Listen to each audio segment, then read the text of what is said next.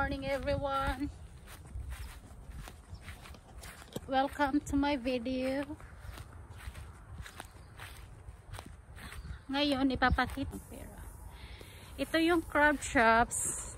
Kami mismo ang gumagawa dito kasi mas makamura kami.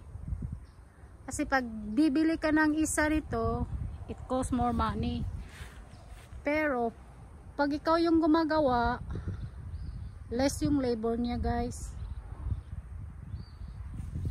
Ito yung crab traps. Ito ito yung ginagamit sa paghuli ng mga alimango. Dito sa Louisiana guys we have what it called a blow crabs. And ito pa yung traps namin. Ibang kulay nito. Meron kaming dalawang kulay na kinumbay namin red and yellow. Ang paggawa nito guys marami talaga. Step by step sa paggawa nito. Sa susunod na video ipapakita ko sa inyo kung paano to ginagawa step by step. Ito meron din kami ibang kulay nito. Green and red iba't iba talagang kulay ng crab traps namin. Na. Kapag inidrop itong trap sa water itong float nasa ibabaw ng tubig. So ito yung uh, pinipick up namin pag so alam namin kung crab traps namin yan. Linagyan namin ng ribbon. Uh, before yung float namin color yellow talaga. Pero sa tagal-tagal na yung paint niya nawala na at sa paglinis. Ito guys to yung malilinis na crab traps namin at meron kaming maduduming crab traps kapag nadumihan na yung crab trap guys wala nang crabs na pumampasok or alimango na pumampasok sa what sa traps. Ito yung napakadumi mabaho talaga siya guys para siyang amoy ng ano, dumi ng baboy. Ito, tingnan nyo.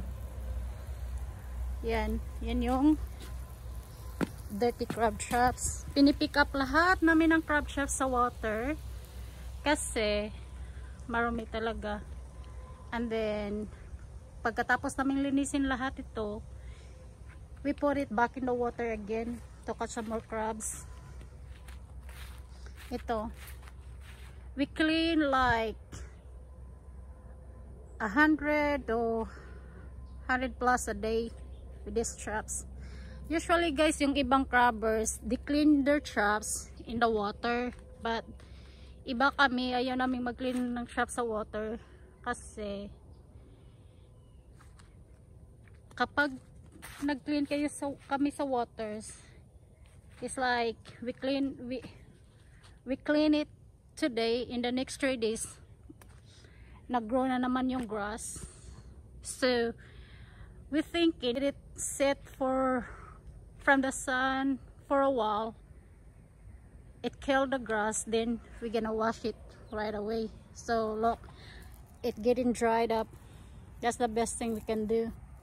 So we can get like maybe three to four weeks with this before it get dirty again So, ito yung traps na nalinis na namin. Yan, lahat. We have around 800 crab traps or less. Kasi before, I think we got more, but some of the traps is getting lost.